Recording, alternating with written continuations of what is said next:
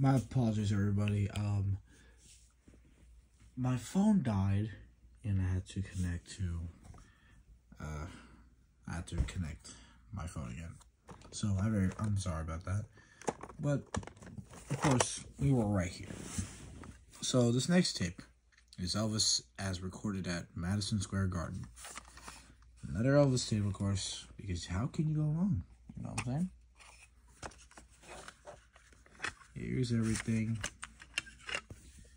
Elvis and his amazing smile and the tape. Like I said, you can't go wrong with them. Alright, this next one, I really wanted this tape for quite a while because it's from a famous movie called American Psycho.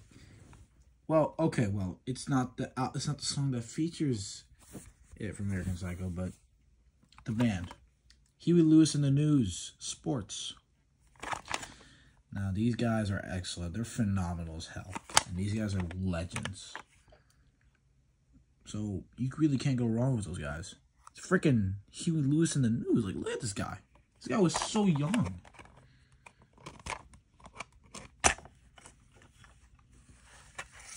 Here's the tape.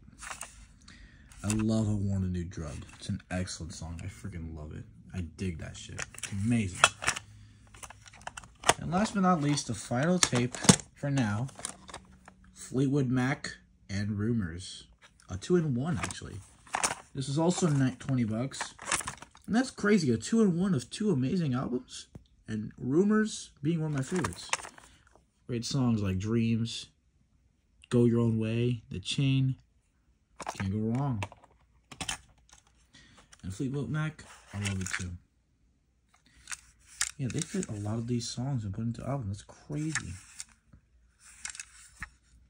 Yeah, here's Fleetwood Mac and Rumors.